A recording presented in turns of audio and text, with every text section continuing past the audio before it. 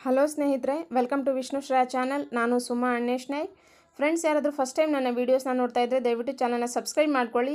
ನಾನು pregnancy related ಹಾಗೆಯೇ delivery related ವೀಡಿಯೋಸ್ಗಳನ್ನು ಪೋಸ್ಟ್ ಮಾಡ್ತಾ ಇರ್ತೀನಿ. ಹಾಗೆಯೇ ಈ ವಿಡಿಯೋ ನಿಮ್ಗೆ ಇಷ್ಟ ಆದರೆ ಲೈಕ್ ಮಾಡಿ ಶೇರ್ ಮಾಡಿ ಹಾಗೆಯೇ ಕಮೆಂಟ್ ಮಾಡಿ. ಸ್ನೇಹಿತರೆ, ಇವತ್ತಿನ ಟಾಪಿಕ್ಸ್ ಏನಪ್ಪ ಅಂತಂದರೆ ನಾನು ತಿಳಿಸುವಂತಹ ಕೆಲವೊಂದು ಟಿಪ್ಸ್ಗಳನ್ನು ಫಾಲೋ ಮಾಡಿ ನ್ಯಾಚುರಲ್ ಆಗಿ ಯಾವ ರೀತಿ ಕನ್ಸೀವ್ ಆಗ್ಬೋದು ಅಥವಾ ಪ್ರೆಗ್ನೆಂಟ್ ಆಗ್ಬೋದು ಅನ್ನೋದನ್ನು ನಾನು ಈ ವಿಡಿಯೋ ಮೂಲಕ ತಿಳಿಸ್ಕೊಡ್ತೀನಿ. ಬಹಳಷ್ಟು ಜನರಿಗೆ ಗೊತ್ತಿರುತ್ತೆ, ಇನ್ನು ಸ್ವಲ್ಪ ಜನರಿಗೆ ಗೊತ್ತಿರಲ್ಲ. ಚಿಕ್ಕ ಚಿಕ್ಕ ವಿಷಯಗಳು ಗೊತ್ತಿರುತ್ತೆ, ಚಿಕ್ಕ ಚಿಕ್ಕ ವಿಷಯಗಳು ಗೊತ್ತಿರೋದಿಲ್ಲ. ಸೊ ಇದು ಪರ್ಸ್ನಲ್ ವಿಷಯ ಅಲ್ವಾ? ಅಥವಾ ಪ್ರೈವೇಟ್ ವಿಷಯ ಅಂತ ಅನ್ಬೋದು. ಹಾಗಾಗಿ ನಾವು ಬೇರೆಯವ್ರ ಹತ್ರ ಇದನ್ನೆಲ್ಲ ಶೇರ್ ಮಾಡ್ಕೊಳ್ಳೋಕ್ಕಾಗಲ್ಲ ಒಬ್ಬೊಬ್ಬರು ಮುಜುಗರದಿಂದ ಹೇಳ್ಕೊತಾ ಇರಲ್ಲ.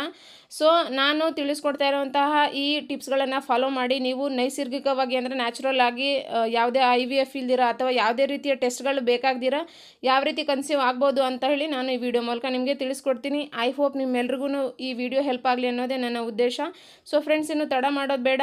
ನಾನು ಈ ರೀತಿಯ ಪ್ರಾಬ್ಲಮ್ಗಳು ಯಾವ ಕೇಸಸ್ಸಲ್ಲಿ ಆಗುತ್ತೆ ಅನ್ನೋದನ್ನು ನಾನು ತಿಳಿಸ್ಬಿಡ್ ತಿಳಿಸ್ಬಿಡ್ತೀನಿ. ಫಸ್ಟಿಗೆ ಕನ್ಸೀವ್ ಆಗೋದಕ್ಕೆ ಅಥವಾ ಪ್ರೆಗ್ನೆಂಟ್ ಆಗೋದಕ್ಕೆ ಯಾಕೆ ಲೇಟ್ ಆಗುತ್ತೆ ಅಂತ ಹೇಳಿ ಹೇಳೋದಾದರೆ ಗಂಡು ಮಕ್ಕಳಲ್ಲಿ ಸ್ಪರ್ಮ್ ಕೌಂಟ್ ಏನಾದರೂ ಕಡಿಮೆ ಆಯಿತು ಅಂದರೂ ಈ ರೀತಿಯ ತೊಂದರೆಗಳು ಬರುತ್ತೆ.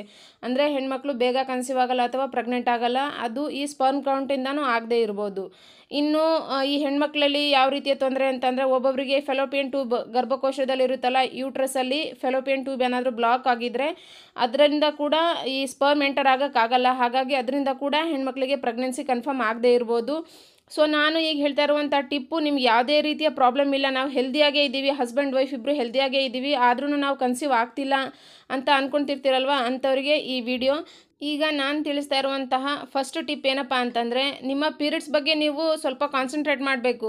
ನಿಮಗೆ ಟ್ವೆಂಟಿ ಫೈವ್ ಡೇಸಿಗೆ ಪೀರಿಯಡ್ಸ್ ಆಗುತ್ತಾ, ಅಥವಾ ಟ್ವೆಂಟಿ ಏಯ್ಟ್ ಡೇಸಿಗೆ ಆಗುತ್ತಾ, ಅಥವಾ ಥರ್ಟಿ ಡೇಸಿಗೆ ಏನಾದರೂ ನಿಮಗೆ, ಅಂದರೆ ಮೂವತ್ತು ದಿನಕ್ಕೆ ಏನಾದರೂ ನಿಮಗೆ ಪೀರಿಯಡ್ಸ್ ಆಗುತ್ತಾ ಅನ್ನೋದ್ರ ಬಗ್ಗೆ ನೀವು ಸ್ವಲ್ಪ ಕಾನ್ಸಂಟ್ರೇಟ್ ಮಾಡಿ ಅಬ್ಸರ್ವ್ ಮಾಡಿ, ಎಷ್ಟು ದಿನಕ್ಕಾಗುತ್ತೆ ಕರೆಕ್ಟ್ ಅನ್ನೋದನ್ನು, ಅಥವಾ ಒಂದು ಬುಕ್ಕಲ್ಲಿ ಬರೆದಿಟ್ಕೊಳ್ಳಿ, ಅಥವಾ ಕ್ಯಾಲೆಂಡರಲ್ಲಾದರೂ ಅದನ್ನು ಅಂಡರ್ಲೈನ್ ಮಾಡಿ, ನೀವು ಕರೆಕ್ಟಾಗಿ ಇಪ್ಪತ್ತೈದು ದಿನಕ್ಕೆ ಆಗ್ತಿದ್ದೀರೋ, ಇಪ್ಪತ್ತೆಂಟು ದಿನಕ್ಕೆ ಆಗ್ತಿದ್ದೀರೋ, ಅಥವಾ ಮೂವತ್ತು ದಿನಕ್ಕೆ ಆಗ್ತಿದ್ದೀರೋ ಅನ್ನೋದ್ರ ಬಗ್ಗೆ ನೀವು ಸ್ವಲ್ಪ ಯೋಚನೆ ಮಾಡಿ ತಿಳ್ಕೊಳ್ಳಿ.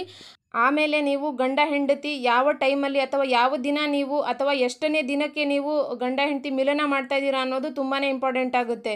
ನಿಮ್ಮ ಪೀರಿಯಡ್ಸ್ಗೆ ಇನ್ನು ಹತ್ತು ದಿನ ಇದೆ ಅಥವಾ ಎಂಟು ದಿನ ಇದೆ ಅಂಥೇಳಿ ನಿಮಗೆ ಅನಿಸುತ್ತಲ್ವಾ?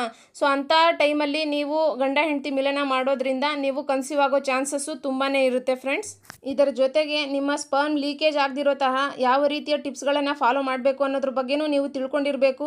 ಈ ವಿಷಯವಾಗಿ ಯೂಟ್ಯೂಬ್ಗಳಲ್ಲಿ ತುಂಬಾ ವೀಡಿಯೋಸ್ ಇದೆ. ಸೊ ಅದನ್ನು ನೋಡಿಬಿಟ್ಟು ನೀವು ಫಾಲೋ ಮಾಡಿ ಬರೇ ಗಂಡ ಹೆಂಡತಿ ಮಿಲನ ಮಾಡ್ತಾ ಇರೋದು ಅಷ್ಟೇ ಅಷ್ಟೇ ವಿಷಯಗಳು ತುಂಬ ಜನ ಗೊತ್ತಿರುತ್ತೆ. ಈ ಚಿಕ್ಕ ಚಿಕ್ಕ ವಿಷಯಗಳು ಅಂದರೆ ಸ್ಪರ್ಮ್ ಲೀಕೇಜ್ ಆಗಬಾರ್ದು ಅಂದರೆ ನಾವು ಏನೆಲ್ಲ ಮಾಡಬೇಕು ಅನ್ನೋದ್ರ ಬಗ್ಗೆ ತುಂಬ ಜನ ಗೊತ್ತಿರೋದಿಲ್ಲ. ಈ ವಿಷಯವಾಗಿ ಯೂಟ್ಯೂಬ್ಗಳಲ್ಲಿ ತುಂಬಾ ವೀಡಿಯೋಸ್ ಇದೆ, ಅದನ್ನು ನೋಡಿ ನೀವು ಫಾಲೋ ಮಾಡಿ. ಹಾಗೆಯೇ ಈಗ ನಾನು ನೆಕ್ಸ್ಟ್ ಟಿಪ್ ಏನು ತಿಳಿಸ್ಕೊಡ್ತಾ ಇದ್ದೀನಿ ಅಂತಂದರೆ ಪೀರಿಯಡ್ಸ್ಗೆ ಇನ್ನು ಹತ್ತು ದಿನ ಅಥವಾ ಒಂದು ವಾರಗಳಿದ್ದಂಗೆ ಗಂಡ ಹೆಂಡತಿ ಇಬ್ಬರೂ ಮಿಲನ ಆಗಬೇಕು. ಆದರೆ ನೀವು ಹತ್ತು ದಿನದಲ್ಲಿ ಮೂರು ದಿನ ಅಥವಾ ವಾರದಲ್ಲಿ ಎರಡು ದಿನ ಈ ರೀತಿ ಆಲ್ಟರ್ನೇಟ್ ಡೇಸಲ್ಲಿ ನೀವು ಗಂಡ ಹೆಂಡತಿ ಇಬ್ಬರೂ ರಿಲೇಷನ್ಶಿಪ್ಪನ್ನು ಇಟ್ಕೋಬೇಕು. ಯಾಕೆ ಅಂತಂದರೆ ಒಂದು ಸಲ ಗಂಡ ಹೆಂಡತಿ ಇಬ್ಬರು ಮಿಲನ ಆಯಿತು ಅಂತಂದರೆ ಒನ್ ಟೈಮಲ್ಲಿ ಮಿಲಿಯನ್ಸ್ ಆಫ್ ಸ್ಪರ್ಮ್ಗಳು ರಿಲೀಸ್ ಆಗುತ್ತೆ. ಹಾಗಾಗಿ ಪದೇ ಪದೇ ನೀವು ಗಂಡ ಹೆಂಡತಿ ಈ ರಿಲೇಷನ್ಶಿಪ್ ಇಟ್ಕೊಳ್ಳೋದ್ರಿಂದ ಸ್ಪರ್ಮ್ ವೇಸ್ಟ್ ಆಗಿ ಹೋಗುತ್ತೆ. ಹಾಗಾಗಿ ಅಂಥ ಟೈಮಲ್ಲಿ ನೀವೇನು ಮಾಡಬೇಕು ಅಂತಂದರೆ ನೀವು ಆಲ್ಟರ್ನೇಸ್ ಡೇಸಲ್ಲಿ ನೀವು ರಿಲೇಷನ್ಶಿಪ್ ಇಟ್ಕೊಳ್ಳೋದ್ರಿಂದ ಸ್ಪರ್ಮ್ ಲೀಕೇಜ್ ಆಗೋದು ಅಥವಾ ಸ್ಪರ್ಮ್ ವೇಸ್ಟ್ ಆಗೋದು ಆಗೋದಿಲ್ಲ. ಇನ್ನು ನೆಕ್ಸ್ಟ್ ಟಿಪ್ ಏನಪ್ಪ ಅಂತಂದರೆ ಇವತ್ತೇನಾದರೂ ನಿಮ್ಮ ಪೀರಿಯಡ್ಸ್ ಇದೆ ಅಂಥೇಳಿ ಅಂದ್ಕೊಳ್ಳಿ ಇವತ್ತೇನಾರ ನಿಮ್ಮ ಪೀರಿಯಡ್ಸ್ ಇದ್ದು ಅಕಸ್ಮಾತಾಗಿ ನೀವು ಪೀರಿಯಡ್ ಆಗಿಲ್ಲ ಇವತ್ತು.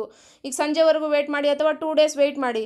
ನೀವೇನಾದರೂ ಈ ಟೈಮಲ್ಲಿ ಪೀರಿಯಡ್ಸ್ ಆಗಿಲ್ಲ ಅಂತಂದರೆ ಇದು ನಿಮ್ಮ ಸೇಫ್ ಟೈಮ್ ಅಂತಲೂ ಹೇಳ್ಬೋದು ಅಥವಾ ನೀವು ಕನ್ಸೀವ್ ಆಗುವಂತಹ ಚಾನ್ಸಸ್ ಕೂಡ ಇರ್ಬೋದು ಈ ದಿನದಲ್ಲಿ. ಸೊ ನೀವು ಈ ಟೈಮಲ್ಲಿ ಏನಾದರೂ ಗಂಡ ಹೆಂಡತಿ ಏನಾದರೂ ನೀವು ನಿಮ್ಮ ರಿಲೇಷನ್ಶಿಪ್ ಇಟ್ಕೊಂಡ್ರೆ ಅಥವಾ ಇಂಟರ್ ಕೋರ್ಸ್ ಏನಾದರೂ ಮಾಡಿದರೆ ಮತ್ತೆ ನೀವು ಪೀರಿಯಡ್ ಆಗೋ ಚಾನ್ಸಸ್ಗಳು ಹೈ ಆಗಿರುತ್ತೆ. ಸೊ ನೀವು ನಿಮ್ಮ ಪೀರಿಯಡ್ ಟೈಮಲ್ಲಿ ಅಥವಾ ಇವತ್ತೇನಾದರೂ ನೀವು ಪೀರಿಯಡ್ ಆಗ್ತಿದ್ದೀರಾ ಅಂತಂದರೆ ಅಂಥ ಟೈಮಲ್ಲಿ ನೀವು ಗಂಡ, ಹೆಂಡತಿ ಮಿಲನ ಆಗೋದು ಬೇಡ. ಫ್ರೆಂಡ್ಸ್ ನಿಮಗೆ ಹೆಲ್ಪ್ ಆಗಲಿ ಅನ್ನೋ ಕಾರಣಕ್ಕೆ ನಾನು ಒಂದು ಮಿಷಿನ್ ಬಗ್ಗೆ ನಿಮಗೆ ತಿಳಿಸ್ಕೊಡ್ತೀನಿ. ಯಾವ ಮಿಷಿನಪ್ಪ ಅಂತಂದರೆ ಇಲ್ಲಿ ನೋಡ್ಬೋದು ನೀವು. ಇದ್ರ ಹೆಸರು ಇನಿಟೋ ಫರ್ಟಿಲಿಟಿ ಮಾನಿಟರ್ ಅಂತ. ಸೊ ಇದರಿಂದ ಏನು ಕೆಲಸ ಆಗುತ್ತೆ ಅಂತಂದರೆ, ಈ ಮಷಿನಿಂದ ನೀವು ಯಾವ ದಿನ ಗಂಡ ಹೆಂಡತಿ ಸೇರಿದರೆ ನೀವು ಬೇಗ ಕನ್ಸೀವ್ ಆಗ್ತೀರಾ ಅಥವಾ ಪ್ರೆಗ್ನೆಂಟ್ ಆಗ್ತೀರಾ ಅನ್ನೋದನ್ನು ಈ ಮಷಿನ್ ನಿಮಗೆ ತೋರಿಸುತ್ತೆ. ಅದು ರಿಸಲ್ಟ್ ಯಾವ ಥರ ಅಂತಂದರೆ ಆರೆಂಜ್ ಕಲರ್ ಗ್ರೀನ್ ಕಲರ್ ಹಾಗೆಯೇ ಬ್ಲೂ ಕಲರ್ ಈ ರೀತಿಯಾಗಿ ರಿಸಲ್ಟ್ ತೋರಿಸುತ್ತೆ. ಸೊ ನಾನು ಇದ್ರ ಬಗ್ಗೆ ಒಂದು ವಿಡಿಯೋನ ಮಾಡಿದ್ದೀನಿ. ಆಲ್ರೆಡಿ ನನ್ನ ಚಾನಲ್ನಲ್ಲಿ ನಾನು ಪೋಸ್ಟ್ ಮಾಡಿದ್ದೀನಿ. ನಿಮ್ಗೆ ಯಾರಿಗಾದರೂ ಬೇಕು ಅಂತಂದರೆ, ನಾನು ಇದರ ಲಿಂಕನ್ನು ನಾನು ಡಿಸ್ಕ್ರಿಪ್ಷನಲ್ಲಿ ಹಾಕಿರ್ತೀನಿ. ಇದರ ಪ್ರೈಸ್ ಎಷ್ಟು ಅಥವಾ ಇದು ಯಾವ ರೀತಿಯಾಗಿ ರಿಸಲ್ಟ್ ತೋರಿಸುತ್ತೆ ಅನ್ನೋದನ್ನು ನಾನು ಕಂಪ್ಲೀಟಾಗಿ ನಾನು ಡೀಟೇಲ್ ಆಗಿ ಇದ್ರ ಬಗ್ಗೆ ವಿಡಿಯೋ ಮಾಡಿದ್ದೀನಿ. ಇದೊಂದು ಸ್ಮಾರ್ಟ್ ಡಿವೈಸ್ ಅಂತ ಅನ್ಬೋದು. ಇದನ್ನು ನಾವು ಮೊಬೈಲಲ್ಲಿ ಇದರ ರಿಸಲ್ಟ್ ನೋಡ್ಬೋದು. ಸೊ ಫ್ರೆಂಡ್ಸ್ ನಾನು ಈ ವಿಡಿಯೋನ ಇಲ್ಲಿಗೆ ಎಂಡ್ ಮಾಡ್ತೀನಿ. ಹಾಗೆಯೇ ನನ್ನ ವಿಡಿಯೋ ನಿಮ್ಗೆ ಇಷ್ಟ ಆದರೆ ಲೈಕ್ ಮಾಡಿ ಶೇರ್ ಮಾಡಿ ಕಮೆಂಟ್ ಮಾಡಿ. ನನ್ನ ಚಾನಲ್ನ ಸಬ್ಸ್ಕ್ರೈಬ್ ಆಗೋದನ್ನು ಮರಿಬೇಡಿ. Thank you so much for watching my channel and please please please keep supporting me